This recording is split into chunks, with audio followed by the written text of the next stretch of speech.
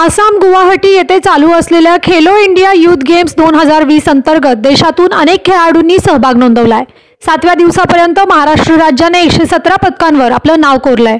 यामध्ये साताऱ्याचा सुपुत्र मयूर शशिकांत पवार याने सायकलिंगमध्ये सलग तीन सुवर्ण पदक जिंकण्याची किमया केली आहे. मयूर पवार हा सातारा जिल्ह्यातील जावली तालुक्यातील गवडी या गावचा आहे. त्याने सायकलिंग ॲथलेटिक्समध्ये मुलांच्या एकवीस वर्षाखालील स्प्रिंट प्रकारामध्ये दोनशे मीटरची स्पर्धा अकरा पूर्णांक तीनशे सहा सेकंद या वेळेत पूर्ण केली आहे. सातारा जिल्ह्यातील विविध क्षेत्रातील मान्यवरांकडून त्याचं अभिनंदन होत आहे.